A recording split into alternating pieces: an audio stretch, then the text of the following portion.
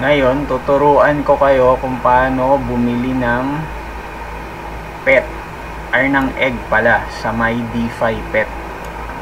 So, kailangan lang may DPET tokens kayo. So, ako ngayon meron akong 6 DPET tokens.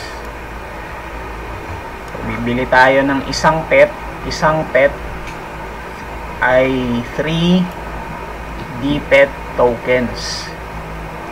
So, currently, meron na tayong mga pet. So, yan. So, kiklik nyo lang yung shop. Tapos, punta kayo sa pets. Tapos, click nyo yung egg. Processing. Buy egg. Tapos, ito na yung MetaMask. So, hindi na natin babaguhin yung gas limit. Ito, dahil nung trinay kong baguhin yan, laging nagfe-fail. Tapos, nababawasan lang yung BNB natin. So, hayaan na lang natin yan. Mas mahal pa dahil pag nag-failed transaction, mas lugi ka pa. So, i-confirm natin yan. So, ito ay okay natin yan.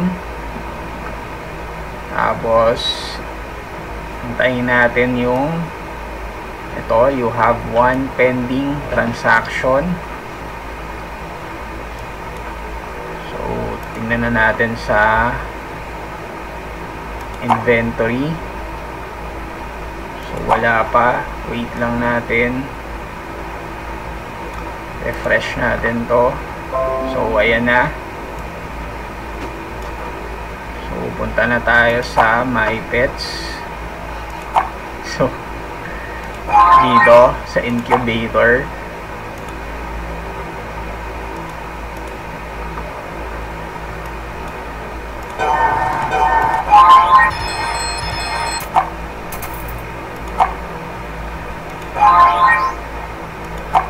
So pero ito na yata yung lumabas natin na nakuha. Rudolph ganun lang. Hindi pa lumalabas dito para i-break mo yung egg eh. pero bawas na yung 3D pet token natin. So ito harvest natin yan. Tapos magtanim tayo. Ito na kaya naman ingit lahat. Yan. So ito yung nakuha natin Rudolph yun lang. So hindi na lumabas dito. Dumiretso na dun sa inventory. Hindi na tayo pinayagang mag break ng egg. So ganun lang. Kailangan lang para bumili kayo ng egg.